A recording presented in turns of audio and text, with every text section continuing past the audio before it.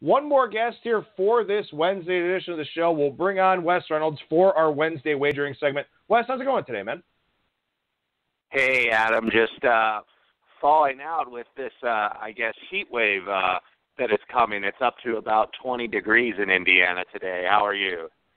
I'm doing well. I'm going to wear shorts when I go run some errands here after the show to uh, celebrate the fact that you know it's not single digits anymore, but it's supposed to be 40 in the 40s this weekend. So lucky us, right?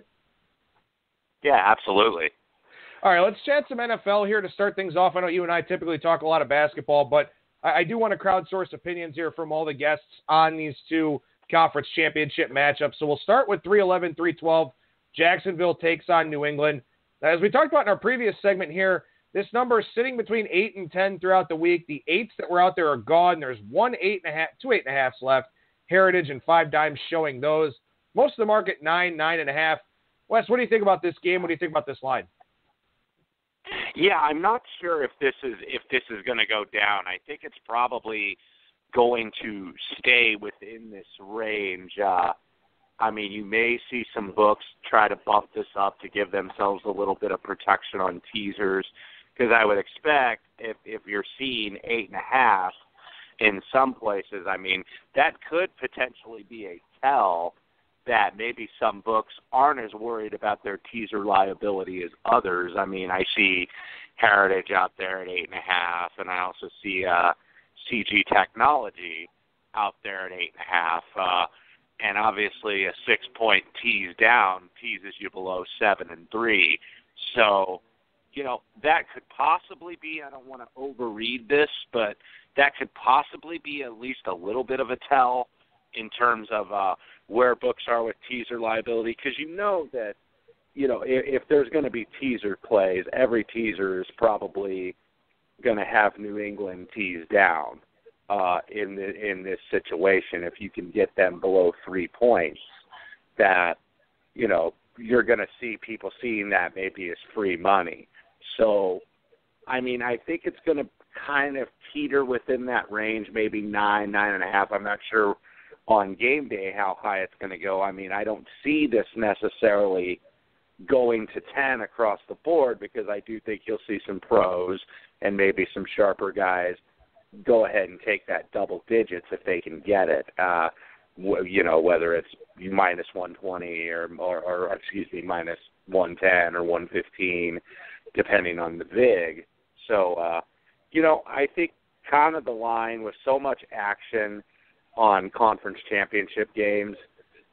I don't think that this is going to go very much further up or down either way. I think it's kind of going to teeter back and forth in this range. I think this is such an interesting line for a variety of different reasons because you, you have to incorporate the New England teaser protection, as you talked about and as we talked about with Brian. It's just something you have to do. I mean, getting New England below a field goal here in this spot looks really, really attractive to people.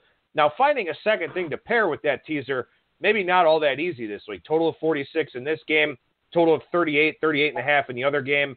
Philadelphia plus nine would maybe be the way to go, I guess, if you want to pair New England with something. But you have to incorporate the teaser protection. You have to probably inflate the New England side a little bit because this is a team, as scrutinized as their point spreads are, they are 28 and 8 against the spread over the last two years, which is just stupid. I mean, it's it's crazy.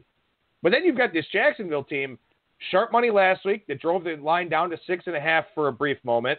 You know, you had them go on the road, beat Pittsburgh, score 45 points in the process with a team that people think can't score. So it's kind of a difficult spot, I think, for the odds makers here this week to sort of balance everything that's going on and, and all the considerations that there are in this game. So I think that as we get closer to kickoff, because we've seen so many sharp moves on game days this year, I think then we'll get a, a real indication of just how much – liability there is both on the straight uh, straight sharp side with Jacksonville and then also on the teaser side with New England.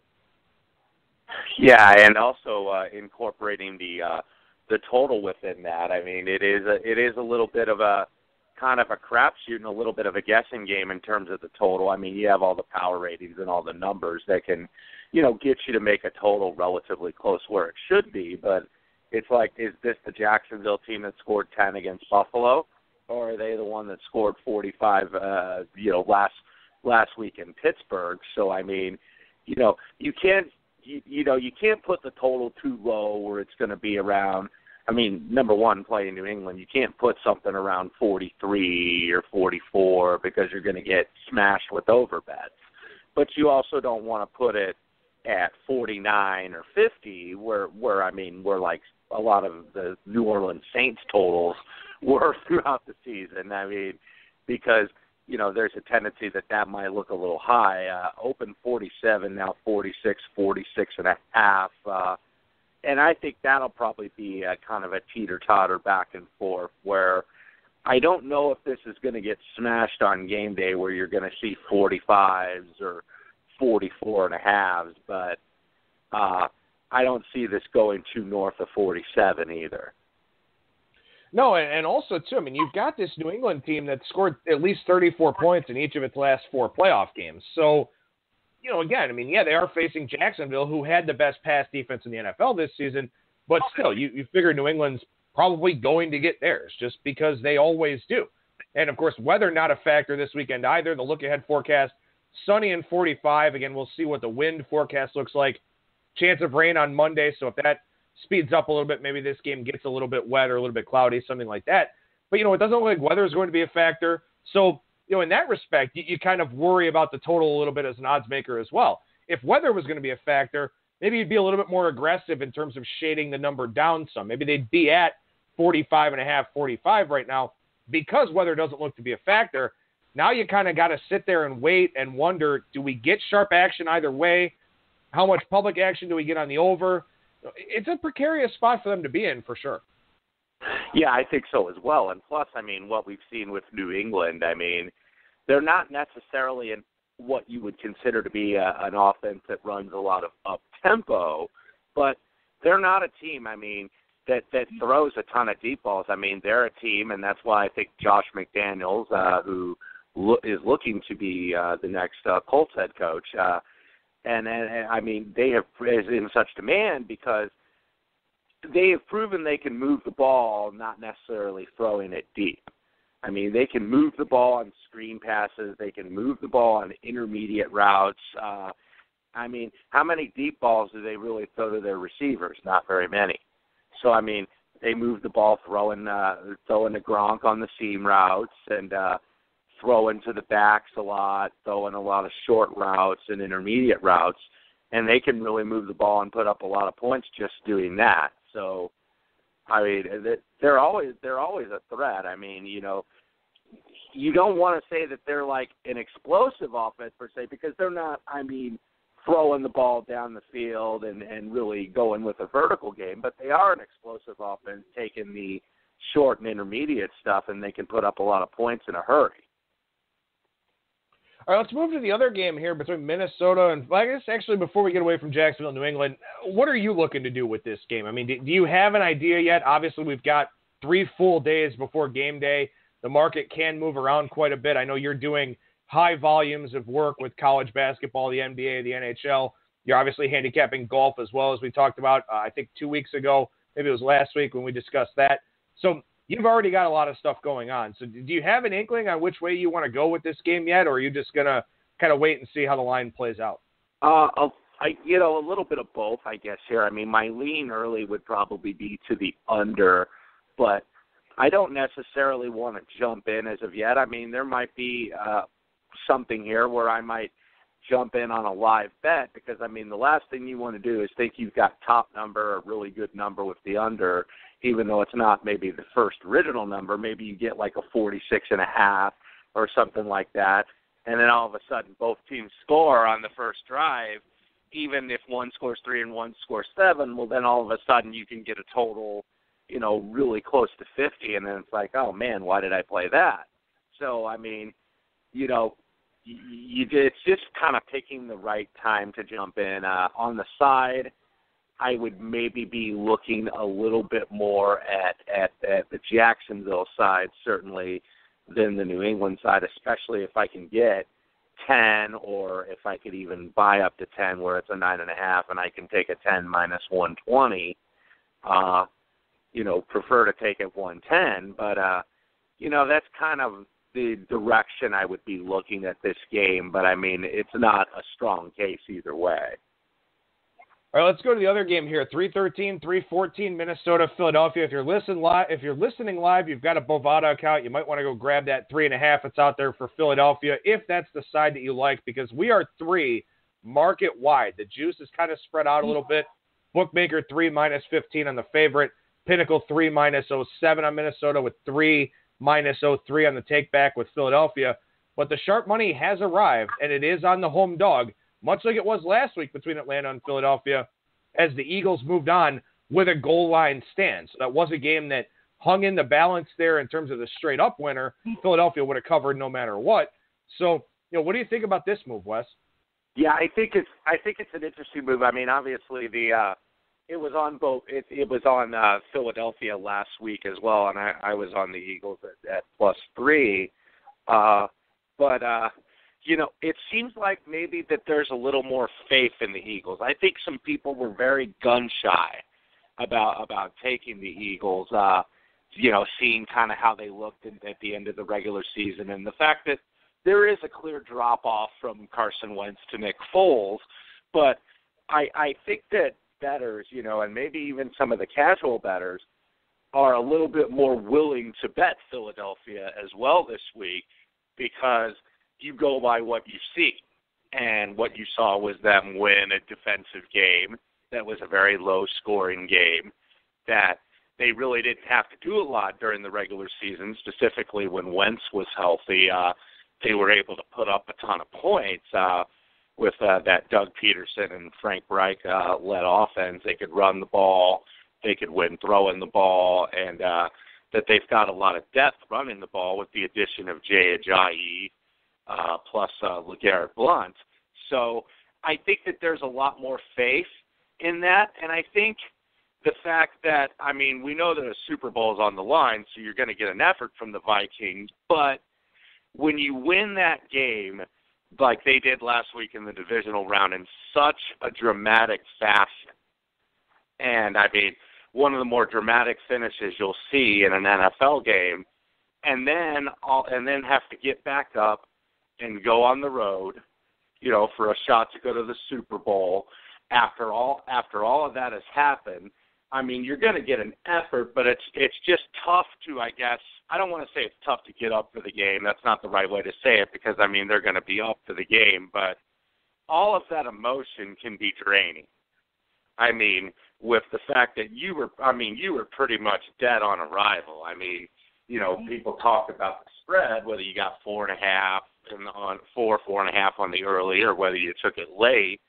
I actually laid money line, so I was going to be the real stupid guy if they would have gotten that miracle touchdown at the end. But I mean, they were all but but dead, and then all of a sudden, you know, you're winning the game. I mean, you're not having to try where it's like, ah, there might be a little bit of a chance if he can get it within 55 yards to get a 55 yard field goal or something and uh, I mean, to be able to have that miracle finish and then come back and do it on the road again in in the NFC Championship game where even the stakes are higher is very hard to do, and that's why I think you're seeing that early Philadelphia money. I think what's really interesting about this game is I'm going to be fascinated to see where the public comes in. And, and right now, I mean, I would think that the public kind of split on this game. The public that has come in, maybe a little bit slanted toward the Minnesota side. But think about how Minnesota won that game. They basically needed one of the worst defensive plays that we can remember from Marcus Williams, where you know he got caught trying to go uh, low, should have probably gone high, didn't want the PI call. You know, there was a lot going on in that split second. But what the public is going to see is exactly what I just said. It was an awful defensive play. This guy made a horrible, awful mistake at the worst time, and Minnesota got lucky to win the game. Now, people are going to forget that Minnesota was up 17 nothing at halftime, was in complete control, and once Andrew Sendejo went out, as I talked about on yesterday or uh, Monday's show, that completely changed the complexion of the game, allowed New Orleans to get back in it. But you know, how is Minnesota's win being evaluated by the public? Because again, that was a play that probably shouldn't have happened. And That guy gets if Stefon Diggs gets tackled in bounds, game is over. That's it. We're done. New Orleans moves on. Then you look at Philadelphia goal line stand against Atlanta. They scored 15 points. They got in the end zone once, settled for a bunch of field goals. You know, what what is the the perception of Philadelphia's win? So I think it's a hard one to gauge. You know where the public may show up on this game because I think the sharp side is clearly defined as Philadelphia, but I don't know where the public comes in. And if Philadelphia becomes a public dog, and I I don't expect that to be the case, but it certainly is possible. That's a side I'm kind of scared of too. Yeah, I'm in, I'm interested uh, in, in the same way here because I mean, you know, you kind of look at it a little bit like uh, when you're looking at basketball, whether it's you know like college basketball, whether it's a conference tournament or an NCAA tournament, where a team maybe kind of gets lucky to get a win, and uh, but but sometimes you'll see a team where they got their scare the the game before or the round before, as it were, and then they come out and it's like, okay, you know, we got our scare, we survived, you know, and then they come out the next game with a really big effort. So, I mean, that's one thing that's a little bit, you know, making me a little bit leery. I mean, I haven't really bet this game, and I'm still kind of trying to figure it out what I'm going to do here, and that's one of the reasons why it's like you know, Minnesota's got to be thinking, hey, we're playing with house money. We were getting ready to come in on Monday morning and clean out the lockers, you know, and and say our goodbyes and you know have the players say, hey, I'll holler at you and you know see you here down the road sometime in the off season, and now all of a sudden they're still playing. So that maybe could light a spark under Minnesota here of the fact that you know, we we should be we should be sitting at home on the couches or starting to plan our vacation and yet we're still playing, and we got a shot at this Super Bowl, which just so happens to be in our own home stadium uh, this year. So, you know, I think that this is actually a very tough game to, you know, really come with. I mean, on a convincing side, one or the other. I mean, you know, and then when the game is played and when the result was, it's like, oh, gee, what was I thinking? Him hauling going back and forth, and there's a really definitive outcome here. So, you know, I'm going to be interested to see the public perception too, because I think it might be split. I think you know you'll have some team people that do like Philadelphia, where it's like, okay, I didn't think Philadelphia could do it, but they proved it to me in the previous round against the uh, defending NFC champion. And then you'll have some liking liking Minnesota here because they'll look at the fact that Philadelphia, you know, score a touchdown or, or they did, but I mean, you know, had mostly field goals and really had trouble scoring in the red zone. So, you know, I think you you might not see that definitive pros versus Joes here that you often hear about on an NFL Sunday in this type of big game. I think you're going to have some sharp people on both sides, and I think you're going to have some public people on both sides. Well, and the last thing ask you about here, a lot's going to be made of this quarterback battle between Case Keenum and Nick Foles, and and I think both defenses certainly have the chance to shine here in this matchup. The optics of, of the performances for both of these guys last week are very interesting. I mean, Case Keenum was 25 of 40. The only touchdown pass he had was the Diggs play that won the game had 61 of his 318 passing yards on that one play. On the Foles side, 23 of 30, 246, didn't have a touchdown, but you know took care of the football, didn't throw any interceptions, fumbled a couple of times, but the Eagles were able to recover those. Got sacked once. So you know, the full stat line looks okay from last week's game. Case Keenum's stat line, you know, he got that late touchdown, got over three bills. That looks okay. But if you actually watched both of these games, some wobbly ducks from Foles. Keenum had the back foot throws when the game started getting away from him in the second half and in the fourth quarter, especially. Like watching both of these guys, they both didn't do a great job in terms of the eye test. And, and so I, I'm sort of wondering, you know, again, if, if you're a public better for this game, you're probably not thinking about which defense I can trust more because they're both very good. You're probably not thinking about the coaching matchup with two guys from the Andy Reid coaching tree with uh, you know, Pat Shurmur is the OC and Doug Pederson is the head coach. You're not thinking of how great Mike Zimmer is at game planning the defense. You're probably thinking to yourself, which quarterback can I trust more? And, and I don't really know what the answer to that question is.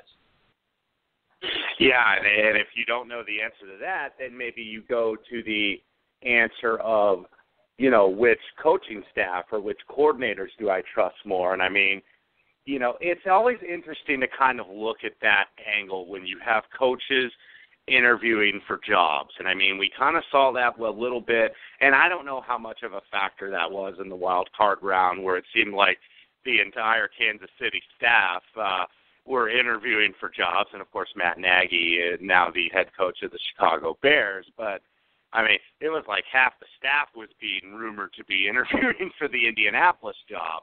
You know, it obviously has it didn't affect Josh McDaniels uh, last week, who seems to be the coach in waiting in Indianapolis. But now you have Pat Shurmur, who, by all accounts, a lot of people are saying are the front is the front runner for the Giants job. So I mean, you know, sometimes you can't help but have that be a little bit of a distraction.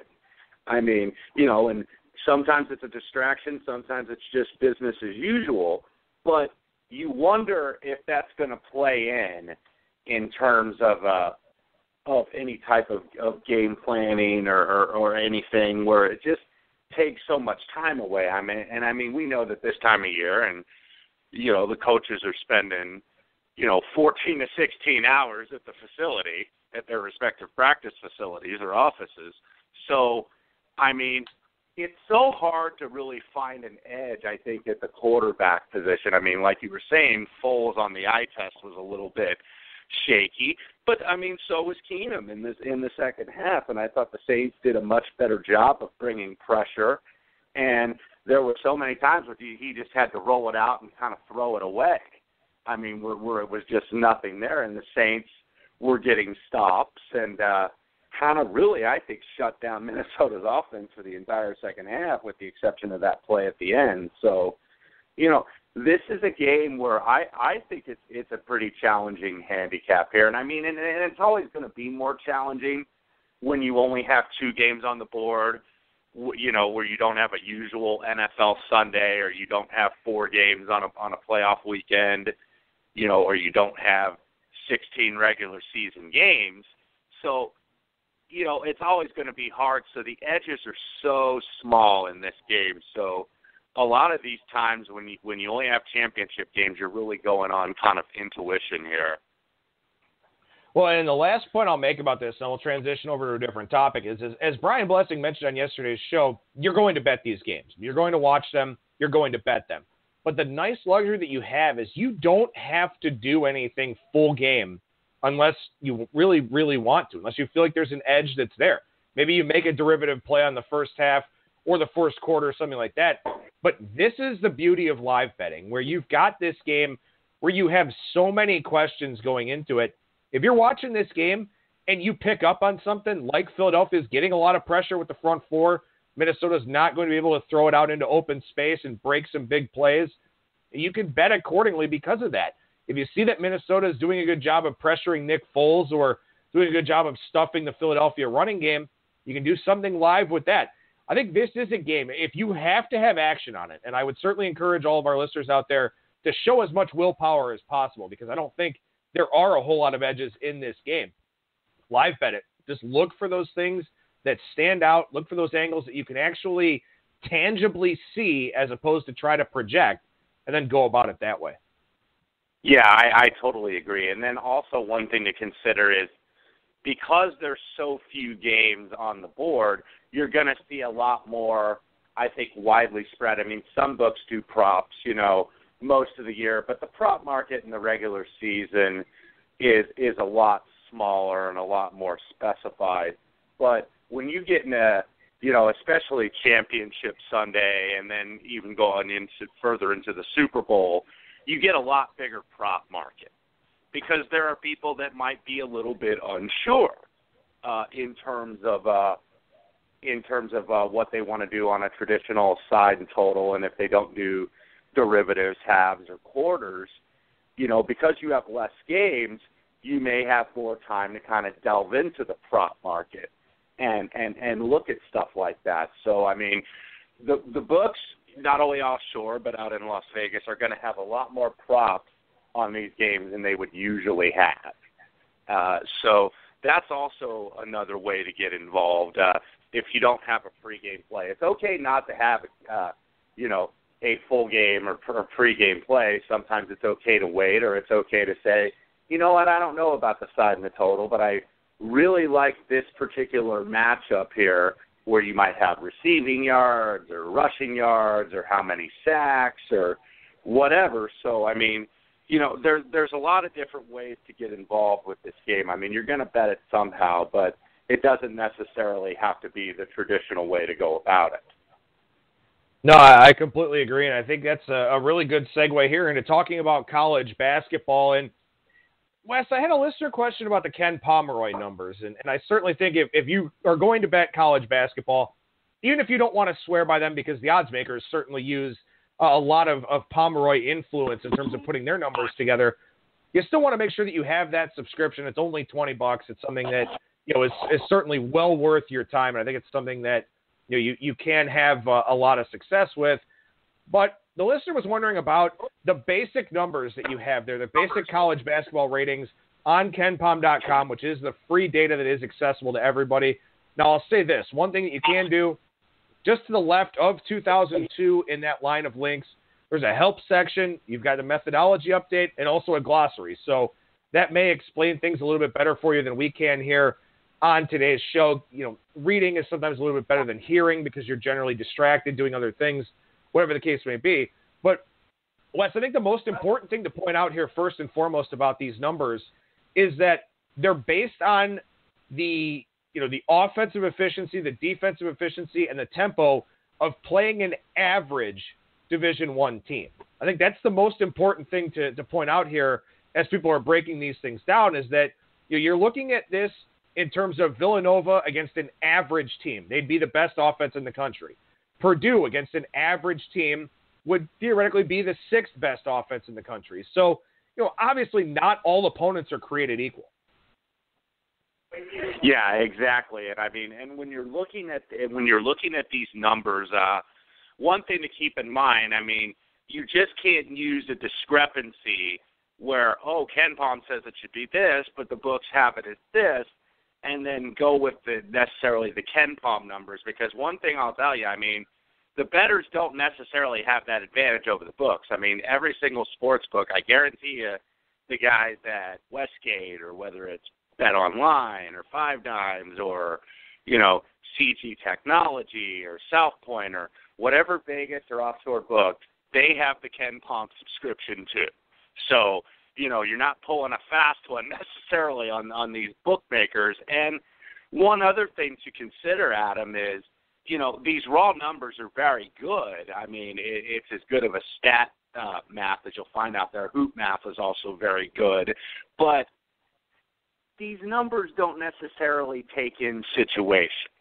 And these numbers also, and I'll, I'll try to use an example from last night's card, don't take into injury, take into account injuries because they're including the data with the injured players in these previous games. An example last night was uh, uh, Louisville and Notre Dame. I believe the KenPom number on that game was minus six. But keep in mind, uh, most of those games were played with Bonzie Colson and were played with a healthy Matt Farrell. That you know is still, I think, kind of trying to get to a hundred percent, even though he played last night. Uh, so I mean, yeah, if you have Bonzie Colson and Matt Farrell at a hundred percent, you know, minus six, maybe a little less, or minus five against a, a solid Louisville team is probably fair. But last night the line was minus three Yet the KenPom number had it minus six, and I ended up uh, uh, t- uh, taking Louisville on that because I thought, well, they're not really valuing the injury as much. I mean, taking Bonzie Colson out of that lineup, and not injuries are all mutually exclusive, but taking somebody like Colson out of that lineup really makes Notre Dame a different team. And you kind of saw it last night with Louisville, where you had Ray Spalding, who I think is a really improved player, who's uh, only a uh, he's a sophomore now. Ray Spalding kind of had more of his way, uh, and and ended up, I believe, having a career high in points last night, uh, because you don't have a, a guy like Colson down low, where I mean it's a totally different look. So so I mean you have to kind of take that into account instead of just going by raw numbers and saying, well, KenPom has Notre Dame six and the odds makers have it three, so Notre Dame's the play, right? Well, oftentimes that's not the case. No, I, I completely agree, and and I think too, you know, the situational element is something that's very, very important. I mean, you talk about playing that altitude double. That's something we talked about with Kyle Hunter on Monday's show, where Washington State plays Colorado, plays Utah on Sunday. So that's not going to be factored into a KenPom metric with them playing, or into that fan match number with them playing a back to back in altitude. It's going to be strictly based on the numbers. And it's very important. And believe me, I'm a sabermetric guy when it comes to baseball. I love diving into those advanced numbers. They cannot be the be all end all. Much like power ratings, if you do them for college football or the NFL or NBA or whatever else, they cannot be the be all end all. You have to incorporate adjustments for these situational spots, you know, obviously adjustments for injuries as well. I would say this though, of the basic KenPom metrics that are available for free over there at the website, I think looking at the strength of schedule adjusted metrics are something that can have some value for you because they're incorporating the opponents that teams have played. And I think they're especially important when you look at the bottom conferences, the low major and the mid majors, because if you're a team that really scheduled up in the non conference, now you're playing teams that are ranked, you know, in the 200s, the 230s, the 260s, whatever the case may be. You know, you're a little bit more battle tested, so to speak. You've played some of those better opponents. I think that column, you know, the one that's a little bit further over to the right under the strength of schedule heading, if you're going to use the free KenPom data for anything, I think that's what you want to try to incorporate into your incorporate into your handicap. Want to try to look at again. You don't want to treat them as gospel because nothing is gospel. But I think if you want to factor in some of the mathematics, that's what I would use from from what's available. Uh, you know, from a without buying a subscription. Yeah, and I mean a perfect example of that. And I'm not necessarily using this team to endorse it to say, hey, bet this team blindly. But one team that you find uh, that does this seemingly every year is out in the Big West with Long Beach State. I mean, they absolutely schedule a nightmare schedule. They don't win a lot of games in December. Uh, you know, well, I mean, you're not going to win a lot of games when you're playing, uh, you know, teams that they've played, whether it's Kansas or whether it's North Carolina. I mean, you know, some of these schools in these middle to lower major conferences also use that as a recruiting tool. Like, hey, man, you're going to play in the biggest arenas in the country. You're going to play at North Carolina. You're going to play in Kansas. You're going to play at Indiana. You're going to play at Louisville or Syracuse or, or wherever. So, I mean, but then when a team like that gets into conference play, I mean, the most notorious example of that is Texas Southern in the SWAC but there's not a lot of SWAC games on the board unless they're that Monday night kind of TV game or maybe when they get into the conference tournament. But uh you see a little bit of a little bit of those edges. I mean, obviously Long Beach State playing these, you know, top 15, top 20 teams, and then all of a sudden you get in the Big West where probably the best team is rated maybe in the 110, 115, 120 range. So, you know, you're playing a lot of 200 teams, you know, once you have been tested and then now you're playing Cal State Fullerton and, and Cal State Northridge. Uh, but the only the only thing is you got to consider too with a team like a Long Beach State is that are they beat to hell because they've overscheduled, which I, I think that they kind of do. Uh, you know, where you're just playing all these tough teams.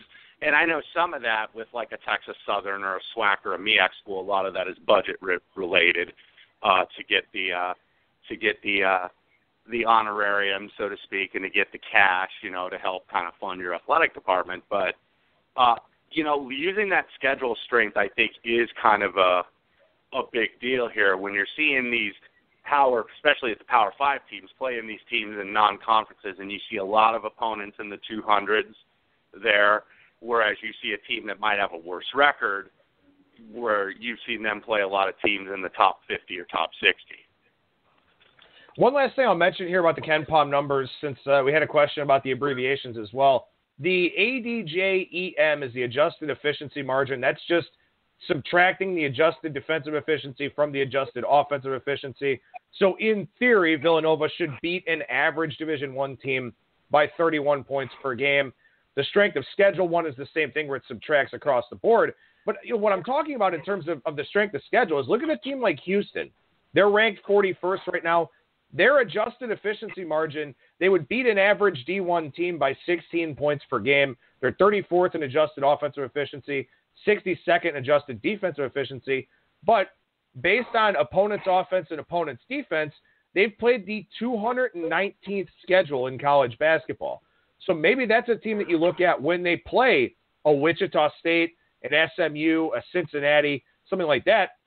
Maybe you expect them to have some struggles because, yeah, they've played very well and they would do very well against average Division One teams, but they've played a bunch of nobodies. They've played a very weak schedule. So they played the 240th non-conference strength of schedule. So I think that's where you can use some of these metrics to your advantage in terms of of trying to find some edges out there in the college basketball market. Wes, I know you mentioned Hoop Math. Are there, are there any other ones that you use as well as good resources? Those are the ones I kind of use. I know that there are other stuff out there that uh, you know some of the actual basketball program, the actual teams and programs use. Uh, Synergy, I, I think, is one of them. Hoop Math is actually something I kind of discovered this year, and I've kind of just recently discovered it. I haven't even subscribed to it yet. I think I'm going to just to add kind of another tool. But uh, you know, and I and I think another thing I want to point out a little bit on the KenPom is that I think it's a little bit better, and I think you can exploit it a little bit more. At least I'm finding on my experience. You know, others may vary, but uh, you can use it a little bit more on discrepancy on the sides, maybe than you can on the totals, because one example I'll look at last night, and it's you know coincidentally brought up an AAC team there with Houston, Cincinnati and UCF last night. I think the the FanMatch total was maybe 115 or 116 or something, but yet the total, I think on the game, I think it closed a little bit lower, but it was around 120 something. Uh, was the actual total that was put out there, and you know, initially you'd want to say, well, this game is going to go over. Uh, you know, you will kind of want to play the opposite of that, like you might do with the side. But with the totals, I think it's a little bit harder to exploit, and I think the edges are so much smaller. And then, sure enough, uh, you look at the game last night. I think it was, uh, you know, the total ended up being. I think I think they might have gotten over 90 points. It was like 19 to 15 in the first half, and then. uh UCF uh, kind of uh, fell apart late, and you know, bringing up Houston, uh, not to get too specific, but I mean, bringing up Houston last night. Looking at that AAC, you got a couple really bad teams in the bottom of the conference with East Carolina and South Florida. So that's going to skew a lot of numbers in that league as well. So I mean, like a team like Houston, who's in the bottom of the top 40, they're beating the teams they're supposed to beat. But then you got to take into account when they play a Wichita or when they play a Cincinnati, you know, are they really that close to those teams? So, uh, you know, I think, uh, you know, and this kind of to conclude my thought, I mean, with with the totals, you know, you can't necessarily, I don't think long term, you know, in specific games you can, but long term, I don't think you can kind of use the totals on the KenPom as much as you can the sides to kind of exploit any kind of line discrepancies. Well, we'll make sure to talk some NBA on next week's segment. If you're interested in tonight's NBA card, I'm sure Wes will be posting that on Twitter at Wes Reynolds and the number one. But Wes, great discussion here on both NFL games and also this KenPom commentary. And uh, we'll talk to you again next week. All right, Adam. Always a pleasure being on, man. Great stuff there on today's show with Wes Reynolds at Wes Reynolds and the number one on Twitter. One thing I did want to mention here at the tail end of today's show is by now I'm sure everyone's heard about uh, the suicide of Tyler Hilinski, uh, who is going to be probably the starting quarterback for the Washington State Cougars next year. And it is one of those things that, that sends ripples throughout you know the, the circles of people that I follow on Twitter, and you know a lot of them obviously sports based, and you know uh, suicide is, is a tragedy no matter who it happens to, uh, even the worst of the people out there, you know, just getting to that point, you know, figuring out that, that maybe there's nothing that can be done. Uh, but, you know, for those of you that have experienced some sort of mental health issue, some sort of mental illness, uh, there are people out there that want to listen. You know, one of the, the best decisions that I've ever made in my lifetime was you know, when I was going through uh, some difficulties and some rough patches, I talked to somebody. And, you know, sometimes it really helps to have that impartial ear that can listen to you, somebody that, that knows nothing about you, has no preconceived notions, you know, not somebody that you've had talks with before. You're just reaching out to somebody that is trained in it. You know, there should be no stigma with mental health. There should be no stigma with going out and getting the assistance that you need.